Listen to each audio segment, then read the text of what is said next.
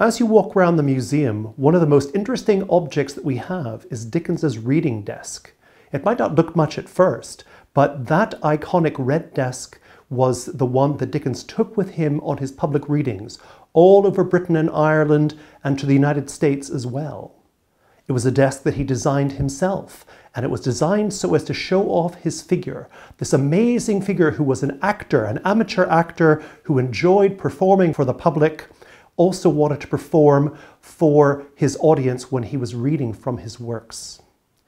Dickens constructed special reading versions. They weren't the full versions that you would see in his novels, but they were cut down so as to emphasize character, to emphasize the aspects of speech that people recognize from reading the novels. And people loved his performances. He had amazing gestures. He loved to engage with the audience in such a way as to make them laugh and to make them cry. He also used as a prop a letter opener, which he had, as a paper knife that, that we still have in the museum, and the Dickens used in order to convey gestures.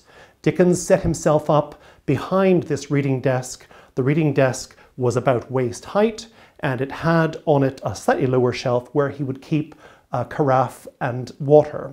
It also had a slightly raised platform on which he would place his elbow in order to uh, supposedly read from the text. And I say supposedly because Dickens did these readings over and over again, and he knew these readings so well. But people expected that book in his hand because that's what they associated with him. He was the man who authored these works, and he wanted to demonstrate to people, here I am, reading to you from these works that you know so well.